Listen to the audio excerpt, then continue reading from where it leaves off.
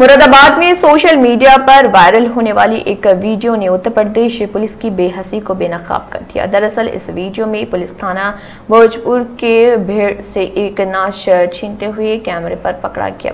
इस वीडियो में ये वाज तौर पर नज़र आया कि ये मकतूला झगड़े में सड़क पर गिर पड़ा और थाना इंचार्ज सबसे आगे नज़र आ रहा। उनकी वजह से नाश ज़मीन पर गिरती हुई नज़र आ रही। आपको बताते हैं कि ये वीडियो पिछले वक्त की है, ये शाम की बात है जब 15 साल सौगंध की नाश गाँव पहुँची। दरअसल ये वाकया दो दिन पुराना है।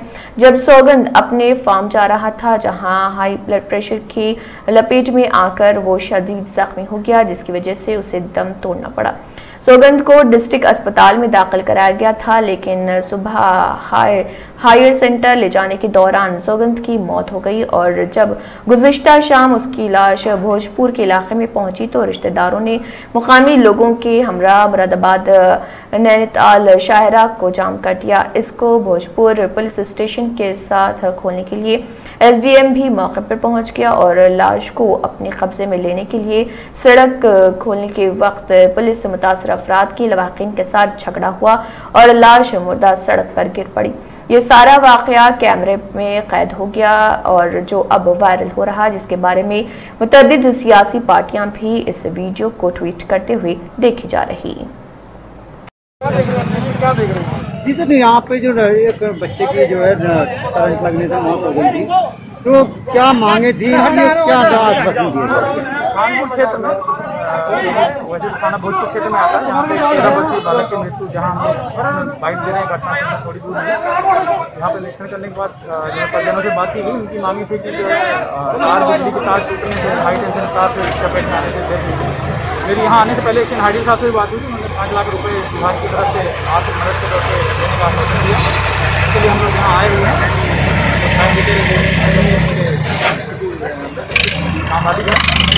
है पिता की हम इत्यादि इकट्ठा कर रहे हैं यहाँ और जो जर्जर तार है इसके लिए जो है बिजली विभाग के अधिकारियों को लिख करके जिसको ऐसा निर्माण कराने की ज़रूरत करानी है अच्छा गाँव वाले मांग कर रहे थे तो ऐसे बिजली कर्मचारियों के खिलाफ यही और आई के खिलाफ मुकदमा कराना गाँव वाले ये कह रहे थे कि तार टूटी हुई है मतलब पहले से जर्जर है उसकी शिकायत उन्होंने अगर कहीं करी है तो वो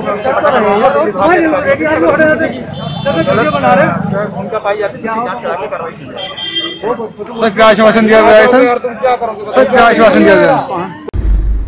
अभी उत्तर प्रदेश मुरादाबाद से एक वीडियो सामने आया जिसमें एक युवक की हाई एक्सटेंशन वायर से आ, मौत हो गई। जिस हिसाब से पुलिस का वहाँ रवैया रहा है उसके शव को लेकर के बहुत निंदनीय है। वो वो आप सोचिए जिस परिवार का बच्चा है वो जो जिसको मतलब इतना बड़ा आघात पहुँचा है उसके शव को आप इस तरह से छीना झपटी कर रहे हैं, ये बहुत अच्छी बात है नहीं। और लोगों की आवाज़ मतलब इस तरह से बिल्कुल नहीं दबानी चाहिए। और इस पीड़ा को, मानवीय पीड़ा को ज़रूर समझना चाहिए कि यदि किसी के परिवार में एक बच्चे बच्चे का इतना दुखद अंत हुआ है तो उसके साथ कैसा व्यवहार रखना चाहिए? मैं योगी जी की सरकार से सिर्फ़ इतना कहूँगा कि उस परिवार को न्याय दिलाएँ, उनकी जो मांगे हों उसको पूरा करें, ताकि जो उनका नुकसान हुआ, उसको हम पूरा तो नहीं कर सकते। लेकिन कम से कम जो वो कह रहे हैं, उनकी बात सुन के उनके लिए वो काम तो कर सकें। धन्यवाद।